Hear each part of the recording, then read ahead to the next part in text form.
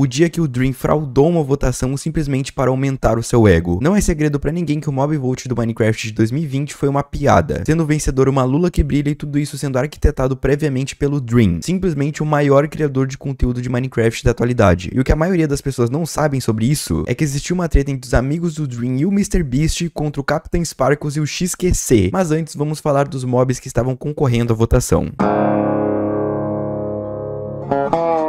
Obviamente tinha três mobs concorrendo, que era a Mob Loom, que basicamente tinha 80% de chance de plantar uma flor amarela pelo mundo e 20% de chance de plantar um girassol, ou seja, era apenas uma vaca de flores igual a Kogu Vaca, que é só uma vaca de cogumelo. Também tinha o Iceologer, que era um novo pillager da neve, e tinha alguns ataques muito interessantes usando pedaços de gelo que ficavam flutuando em cima do inimigo até cair em cima deles e dar dano. E o último mob é a Lula Brilhante, que é simplesmente uma Lula normal que brilha, e é só isso. Ela é uma Lula e ela brilha. E esse eram os mobs que estavam concorrendo à votação.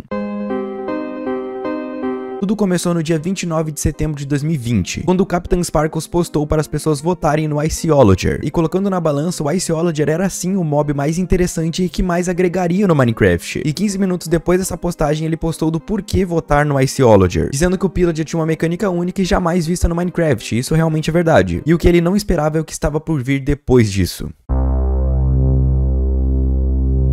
No dia seguinte, a Lula Brilhante foi anunciada, com o famoso vídeo em 2D do Jeb e da Agnes, e nesse eles estavam dentro da água quando apareciam algumas lulas brilhantes. Até aí tudo certo. O Minecraft Live estava programado para o dia 3 de outubro de 2020, e quando esse dia chega e a live inicia, sempre tem um pré-show que eles mostram algumas coisas. E naquela época eles estavam apresentando a atualização Caves and Cliffs, e por isso a galera estava bastante hypada ali com a live. E durante ela, uma pessoa aleatoriamente postou Team Glow Squid, e do nada o Dream respondeu dizendo a mesma coisa. Minutos depois, alguns amigos do Dream também postaram pedindo para votar na Lula Brilhante, que foi o Filza, até que o Dream fez a postagem em apoio à Lula Brilhante, pedindo pra galera votasse nela. Enquanto isso, o Captain Sparkles ainda estava ironizando o fato, fazendo uma postagem que dizia: Imagina quem vota em uma Lula retexturizada. Até que o Dream, com a sua infantilidade, não aceitou o que o Captain Sparkles disse e começou a fazer uma campanha enorme para Lula Brilhante. E como é possível ver, as postagens do Dream têm muito mais engajamento do que a do Captain Sparkles. Claramente o Dream é muito maior e influencia muito mais pessoas. Outra coisa que o Dream fez foi pedir para que outros amigos também pedissem para votar na Lula Brilhante, como simplesmente um Mr. Beast pedindo para votar na Lula Brilhante. Além disso, ele também estava supostamente trocando votos por follow na rede social. E é possível ver que antes da votação ele seguia 232 pessoas e depois dela 238. E bom, a primeira etapa da votação se encerrou e a Lula Brilhante ganhou com 2% a mais do que o Iceologer. E além disso, a Mob Loom foi eliminada. Com isso, os apoiadores da Mob Loom começaram a apoiar a Lula Brilhante. E para quem não sabe, eram os amigos do Dream. O Captain Sparkles respondeu Tommy dizendo que ele não tinha idade para fazer isso, e no final Tommy chamou ele de velho e estúpido. E simplesmente do nada o XQC apareceu na votação, dizendo que não era para deixar o Dream ganhar e para que as pessoas votassem no Iceologer, mas infelizmente já era tarde demais.